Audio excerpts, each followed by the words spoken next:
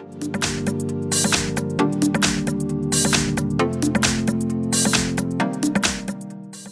front of me is Samsung Galaxy Z Fold 2 and let me show you how to add photo to a contact on the following device.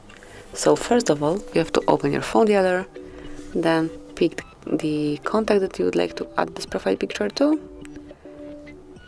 So let me choose for example, for example this one, here we have no uh, picture, then tap on info, tap on edit right here and select the camera tab right here. And as you can see, you can either choose some photo from your gallery if you do have some picture here. So for example, this one.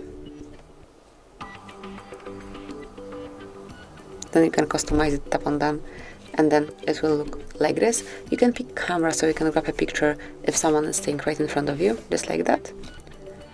Tap on OK. And now it will be a sign. Obviously you can crop it and you can pick one from the default picture so right here you will find pictures grouped into categories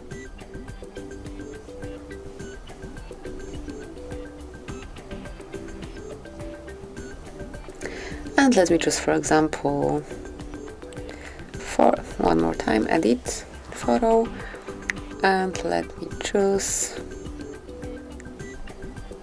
a lion tap on save. And as you can see it has been assigned. So from now on this contact is assigned to this picture. And whenever he or she will be calling you you will be able to see this profile picture at first. So that would be all. This is it. Thank you for watching. Please subscribe our channel and leave the thumbs up